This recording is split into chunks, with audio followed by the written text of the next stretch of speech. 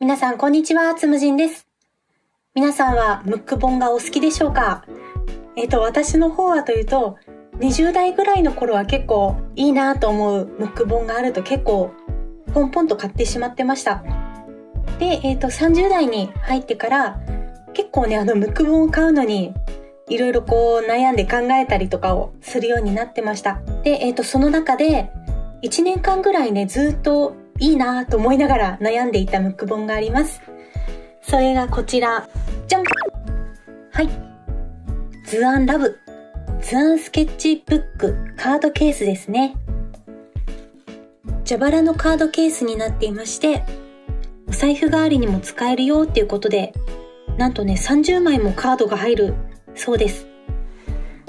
ちょっとね、楽しみにしていたので、見ていきたいなって思います。開けてみると、早速、入ってますね。取り出していこうと思います。オープン厳重に入ってますね。お、結構しっかり厚みがある。中身がスケッチブックですね。本当に見覚えのある可愛らしいデザインになっていて、厚みが思ったよりありますね。2センチ弱といったところでしょうか。しっかりと厚みもあって、で、こちらね、すごく可愛い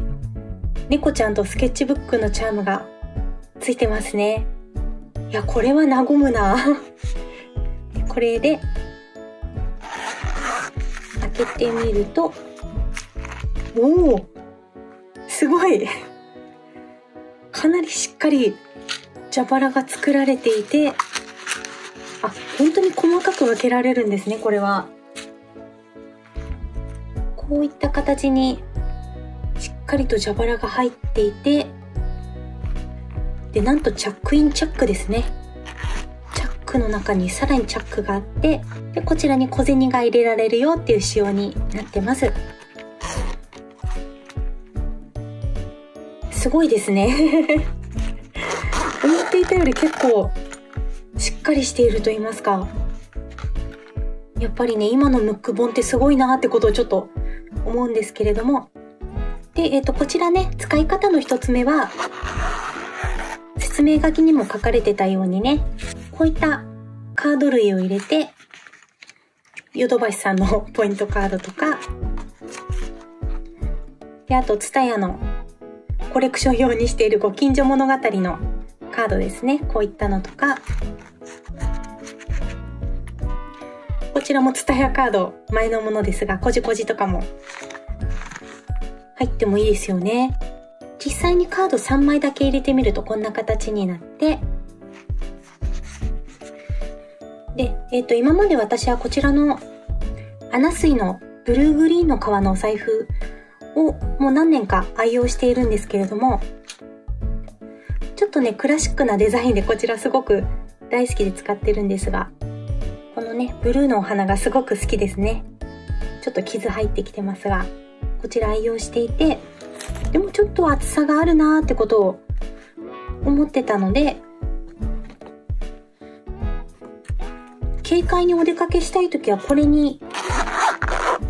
で、小銭は入れないで、クレジットカードとかだけ入れて、これで身軽にショルダーバッグにポンと入れてお出かけしてもいいのかなってことを思ってます。で、あと考えている二つ目の使い方が、えっ、と、アクセサリーケースにする方法ですね。こちらのね、えっ、と、鳥のイヤリングはアフタヌーンティーで以前購入したもので、可愛いモチーフが好きで大好きなんですけれども、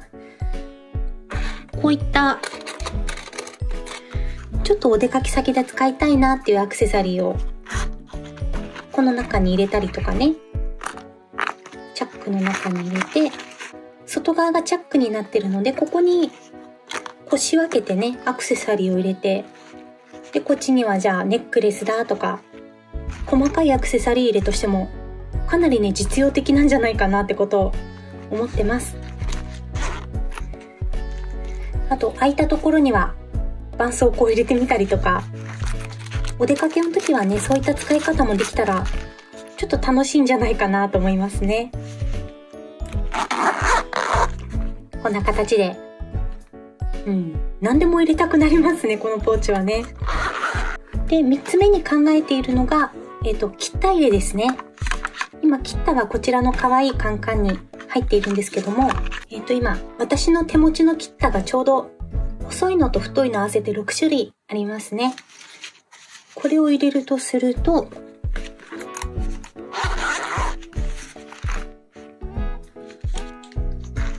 よかった。縦もしっかり入る。バッチリ入りますね。あ、ぴったり。あ、すごいすごい。ちゃんと蛇腹の中にしっかり収まりますね。あ、これはちょっと嬉しい。本当に切ったがジャストサイズですね。これはすごい。で、6冊入れてみると、んな感じで、側面からでもね、あ、このマステだったって見やすいかなと思うので、使いやすそうですね、これ。で、締めてみると分厚い。あ、幅がなかなか。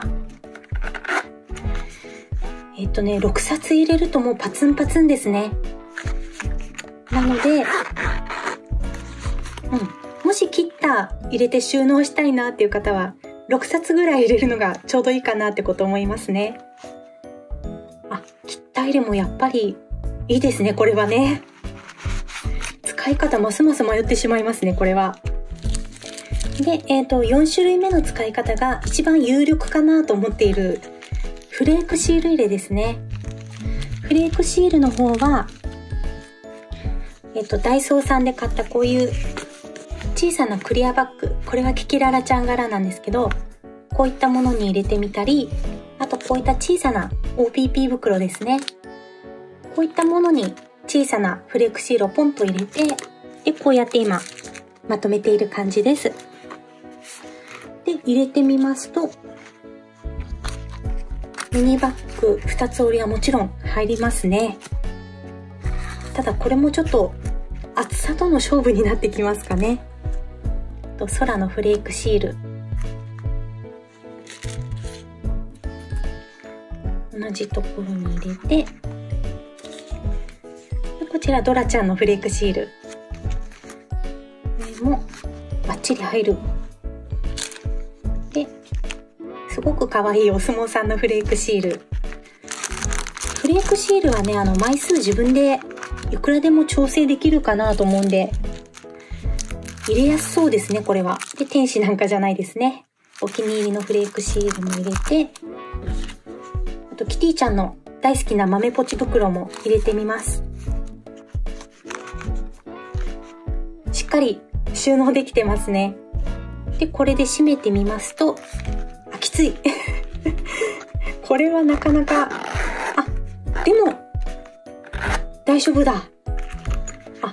フレークシールもやっぱり、いけますね。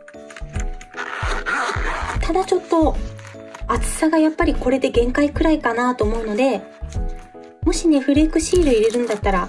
ちょっと枚数を少なくしてこう、入れ込んでみるっていうこともいいのかなと思います。で、えっ、ー、と、こちら後取りになるんですが、あと5つ目の使い方として、私はあの、こういったアニメのコレクターズカードを集めるのがちょっとした趣味なんですけども、お邪魔女ドレミちゃんですね。こういったカードとか、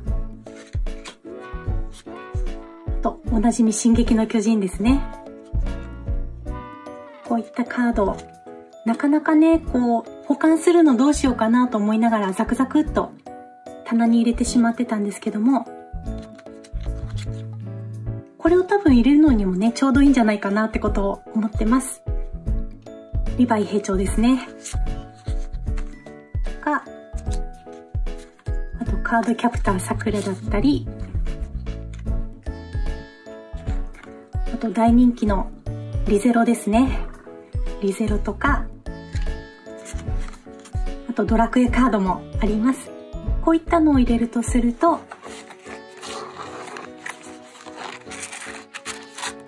バッチリ収まってくれますね。ちょっと幅があるかなっていうカードでも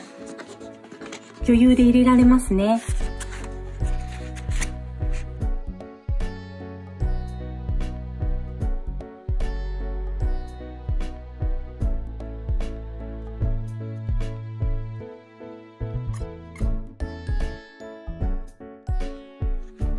結構たっぷりカード入れてみたんですが、これでも、あ、カードは薄いから全く問題なく入りますね。多分本当にこのコレクション系の薄いカードだったら30枚ちょっとぐらい余裕で入るんじゃないかなっていう感じですね。なのでね、私みたいにこういったコレクションカードを集めるのが好きだよっていう方がいたら、こういった使い方もね、すごくいいんじゃないかなってことを思います。で、えっ、ー、と、確かね、あの、このサイズで、同じミニジャバラファイルで、確かね、ツバメノートさんのものもあったかと思うのでね、もしあれだったらこれとツバメノートさんのもう一個買って双子で使っても楽しいかなってことをこちら思ってますね。うん。なんかこの手のひらサイズっていうね、このコンパクトさが扱いやすくてすごく好きなムック本のおまけかなと思います。で、えっと、肝心のサイズの方が幅が11.5センチ、高さが9.5センチ、待ちが3センチですね。なのでもう何でも入れちゃってねっていう感じのジャバラファイルなのかなっていうことを思います。お買い物の参考になるようなところがあれば、私も嬉しいです。で今日のおまけとして、えっと、一つご紹介したいものがこちら。じゃんはい。ちょっと見覚えのあるファイル。えっと、お金を、こう、区分けして管理できるっていうファイルですね。結構本屋さんとかでもたくさんの種類見かけるなってことを思って、私は試しにこの大好きなムーミンのファイルを買ってみたんですけれども、ちょっとね、くすんだ落ち着いたブルーになっていて、すごく好きなんですけども、お金をこう管理するファイルとして私は全然上手に使えてなかったので何か使えないかなってことをこちら考えてました。で、最近使っているのが、えっと、シールファイルになっています。まずこの網網のところはえっと、以前にトラベラーズファクトリーで購入したちょっとかっこいい雰囲気のシールですねあと丸シールとかこういったものが入っていて2018年懐かしい こういったものが入っていてで、えっとこちらねのシステム手帳みたいにリングになっていてリフィルが入れられる仕様になっているのでえっ、と、私はシステム手帳の6穴のリフィルを入れて、えっ、と、見えますかね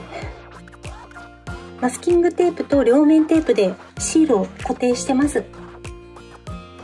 ちらがね、竹井美希さんの可愛らしいシールで、こういった感じで、シールがこうパラパラめくれるようなファイル欲しいなってことを思ってたので、今、こうやって使ってます。で、これは、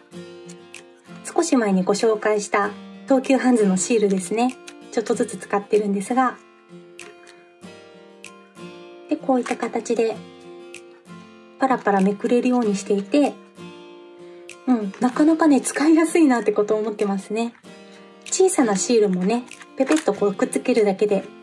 固定できるのででこういったダイカットシールとかも一緒に挟み込んでますね上だけハサミで開けて、上からこう手を入れて、シールを出し入れできる仕様になってます。で、どうやってやってるんだいっていうことを言うと、えっと、リフィルをね、あの、再使用できるように、まずマスキングテープを貼ってから、で、両面テープを貼って、で、1枚ね、シール使い終わったら、マスキングテープごと剥がして、で、また新しいマスキングテープを貼ってっていうことで何度も使えるようにしたいなと思ってこういう形にしてます。上と下でシールを固定してますね。で、えー、と元から付いてたファイルは4つあったんですけども1つだけに今してます。見出しのシールが入ってますね。でパッケージが可愛いシールはパッケージ捨てちゃうのもったいないのでこのポケットのところにこうやってこれ鉄ハートもこれ入れてますね。このミニポケットみたいのは1234個後ろについていてでここにもザクッと物が入れられますね。でえっとね太さが若干はみ出てるんですよね。なのでこうファスナーはね下しか今閉まらない仕様になってます。まあでもこうやって収納する分にはね全く問題はないのでかえって融通が利くファイルということで今すごくこれで満足して使ってます。で多分このねちょっと横幅が太めのシールが使い終わったらここもスッと綺麗に締まるかなと思うので。うん。シールがいくら増えても多分これはね使いやすいかなってこと思ってますね。しばらくは見る専門で楽しみたいっていう時はただこちらに貼らないでザクッとこのファイルの中にこう収納しておいてもいいのかなってこと思ってます。なのでねあのこちらお金を管理するためのムック本のファイルうまく使えないんだっていう私みたいな方がもしいたらシールファイルとしてもおすすめなのでぜひぜひあの活用してみてください。はいということで、えっ、ー、と本日はずっと1年間ぐらい迷っていてようやく購入できた図案ラブ図案スケッチブックカードケース。こちらですね。こちらとあと手持ちのお金を管理するためのファイルを今は、えーと、シールファイルとして愛用していますよというお話でした。参考になるような部分があれば私も嬉しいです。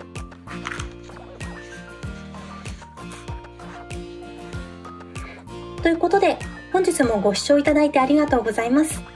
よければチャンネル登録高評価をいただけると励みになります。では次回の動画でお会いしましょう。つむじんでした。またね